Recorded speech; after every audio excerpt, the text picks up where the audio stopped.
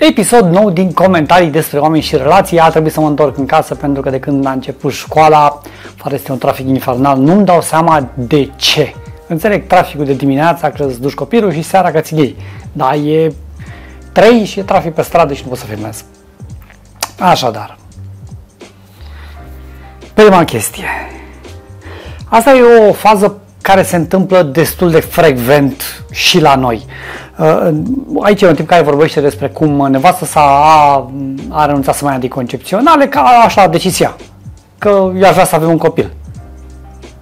Păi, păpușica, să nu e genul ăsta de decizie pe care o iei tu că vrei tu așa. E genul de decizie pe care o luați amândoi. Și aici faza e așa. Uh, femeile par surprinse că bărbatul are impresia că a fost înșelat sau că, că mă, a fost păcălit, e termen mai bun, sau că a decis ea singură să, să aibă copil.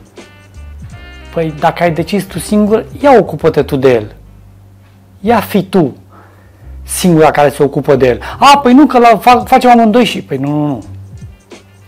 Dacă noi ne futeam cu metode contraceptive și tu ai decis singură că eu vreau să facem un copil și gata de capul tău fără să spui lui alt.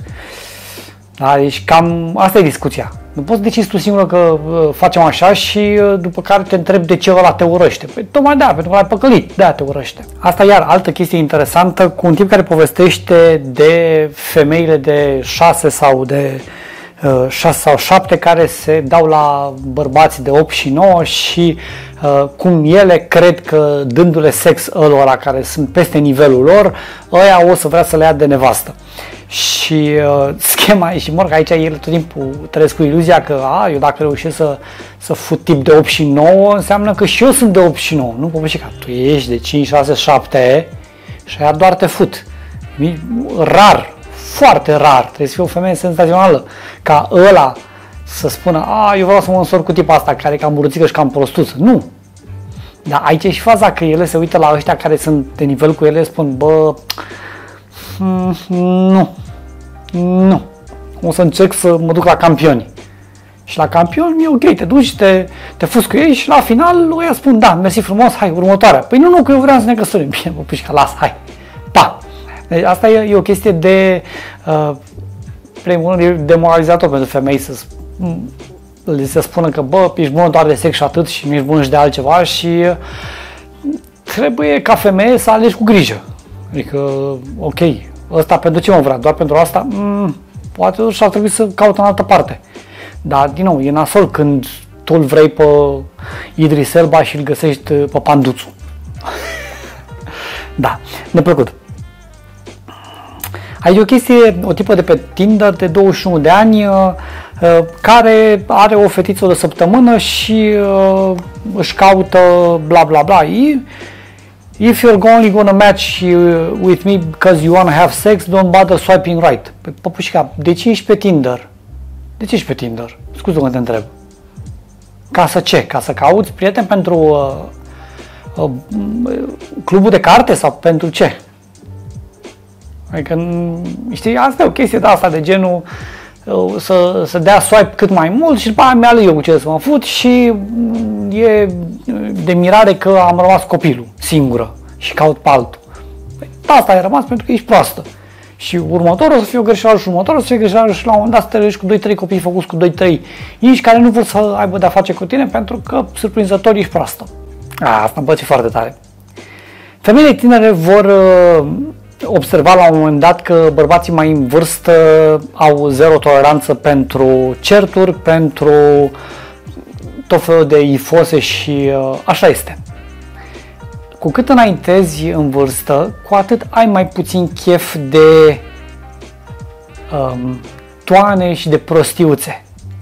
Și adică și e, are, cum o, cum o cheamă, uh, Whitney Cummings, are o chestie foarte interesantă într-un stand-up când ea avea impresia că la 20 de ani este quirking și simpatică și glumeață și la 30 de ani și-a dat seama că este pur și simplu enervantă pentru că toată lumea o suporta la 20 de ani și suporta prostiile pentru că ea s-o fută și acum la 30 spune, bă, hai lasă, le suportăm pe aia de 20 și așa este. Așa este cu cât mai intezi mai mult în vârstă, cu atât îți pierzi răbdarea pentru uh, faze de genul nici nu știu. A, eu nu știu să conduc, am scria mașina, a, eu nu știu unde să-mi pun telefon, unde mi-am pus telefonul, a, eu l-am scăpat și pe ăsta pe jos, i-am altul, că am mai scăpat și pe ăla, altul cu două săptămâni. Chestia astea sunt din nou, sunt drăguțe când ai 20 de ani și e carnea tare pe tine. Da? Și îți găsești unul care are 40 și se bucură la cădință tânără. Uh, eram la un moment dat prieten cu uh, o tipă care, avea prietenă, care avea o prietenă și prietena asta avea 20 ceva de ani și uh, era într-o zonă, anume zonă, făcea o anume facultate și visul ei era să-și deschidă o afacere în zona aia. Și, uh, din nou, deci la 20 de ani ea umbla cu unul de vreo 40 și. Și pentru că, surprinzător, tipul avea bani și omul a făcut un calcul. Păi, îi dau la asta vreo 20.000 de euro și au făcut câțiva ani și sunt și parteneri în afacerea ei, deci nu poate să plece lângă, lângă mine și mai vedem. Are 20 de ani, deci pe la 30 poate ne despărțim, dar până atunci fut cărniță tânără. Da, asta e gândirea. Deci suporți fosele când are 20 de ani. Când are 30 se presupune, adică e chestia asta că și femeile sunt de așa natură încât, bă, ia-mă în serios, comportă-te ca atare. Simplu. Dar nu vor să audă nici asta. Încă una amuzantă, suntem la... E bine, suntem, suntem încă de vreme. Sunt, uh, am I free made? Uh, o tipă vorbește că ea stă acasă, are grijă de doi copii și plănuiește să aibă pe al treilea și doar bărbatul muncește și că și se plânge că are mult de muncă și că e greu și că ăia nu fac nimic în casă și că bla bla. Și întrebarea este la final, uh, tot timpul ea tot face curat și eu sunt menajera? Bă, întrebarea mea e următoarea. Vrei ca ăla, după ce a venit de la muncă, să facă el curat în casă? Știi că discuția asta tot timpul, e și la noi în România. Tu ești casnică. Asta înseamnă casnică. Să ai grijă de casă. Nu înseamnă uh, tu să stai toată ziua la telenovele și când vii la casă, hai să dăm împreună cu aspiratorul, hai să facem mai, hai să facem mai. Nu, păpușa, nu, nu, nu. Tu stai acasă, nu ai serviciu, asta e treaba ta să faci chestiile astea. Nu poți să vii, uh, să vii să spui, a, eu am stat să gătesc. Găsește-ți un job și gătiți amândoi. Dar gândește că el este 8 ore la muncă. Bagă și 8 ore în casă. A, păi nu vreau asta. Eu vreau egalitate, dar să... Vreau să stau acasă, dar să muncească și ei. Aici, bine, aici e și chestia asta că sunt foarte mulți și aici, în cazul bărbaților, foarte mulți care sunt lepre, bă. Deci chestia, n-am văzut niciodată chestia aia cu care, ăștia care se dezbracă prin toată casa și își aruncă hainele și trebuie să stea nevasta să le strângă. Bă, ia-ți până la coșul de haine murdare. Nu pot să, nu că deci chestia aia cu șosete aruncate peste tot și cu kilo, n-am înțeles niciodată. Bine, asta și pentru că am stat singur niște ani și, tre- și le aruncam, împiedicam eu de ele și trebuia eu să le strâng, adică eu eram propria mea menajeră. Și uh, da, și asta e o chestie, dar la final, bă, în momentul în care ești casnică, chestia asta vine cu niște responsabilități. Nu e din aer. Și asta, uh, ultima, să încheiem, e tot în zona asta. Uh, Can sex doll cook your meals? Can sex doll have uh, sex with your, have your kids? Can sex doll wash your clothes? Can sex doll make your home? Și uh, vine un tip și spune, a, din cauza că, uh, din cauza păpușilor uh, gonflabile, voi femeile v-ați gândit că este dintr-o dată datoria voastră să gătiți, să spălați și să aveți grijă de casă. Și așa e. Deci, în condiții în care ea nu vrea să participe sau nu vrea să facă nimica. Și folosești doar pentru sex, din nou, la 20 mișto.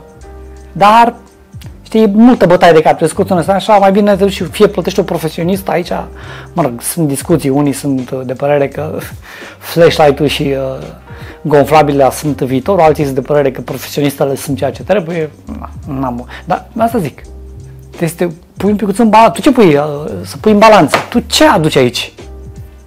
Doar sex. Și? Păi sex versus uh, trebuie să te scoată în oraș, trebuie să... A, trebuie să... Mm? Mm? Mm? E mișto în prima lună sau în primele șase luni. Dar după aia, la un moment dat, bă, plătesc cam prea mult pentru, pentru sexul ăsta pe care îl primesc și cu aceeași tipă, știi? Și la un moment dat nu mai vrei de asta, chestia asta cu trebuie să fim o echipă, să ne ajutăm unul pe celălalt, adică trebuie ca într-o relație să fie, ca o relație să fie bazată mai mult decât pe sex. În cazul multor români este bazat pe sex și pe luat credite. Cred că dacă ne despărțim, putem să plătim creditul, trebuie să, plătim, trebuie să, de asta stăm împreună ca să plătim creditul ăsta. Dar, din nou, asta e, trebuie o relație să fie bazată pe mai mult decât pe sex, să fie pe înțelegere, pe ajutor, pe nu știu ce, pe bla bla, pe eu te ajut pe tine, tu mă ajuți pe mine, adică mm, am văzut, aici, eu am asta aici, am văzut mai devreme o motocicletă, erau doi și m-am uitat mai bine și la, pe ghidon era tipa și în spate era un tip și mi s-a părut, băi, uite o, o idee foarte bună. Nu la modul ăla este pusi că nu conduce el și conduce ea, ci la modul, băi, îți uh, susții femeia și dai încredere în ea. Da, iubi, conduc astăzi.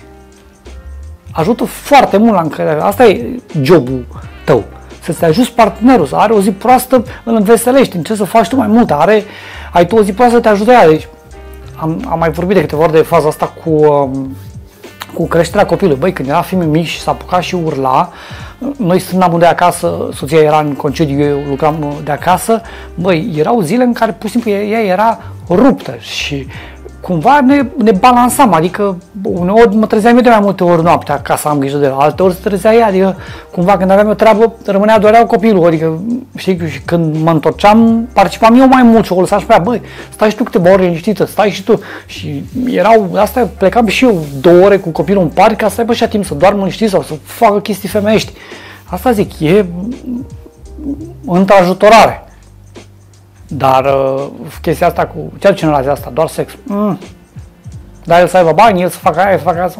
Gata pentru episodul de astăzi, ne vedem data viitoare.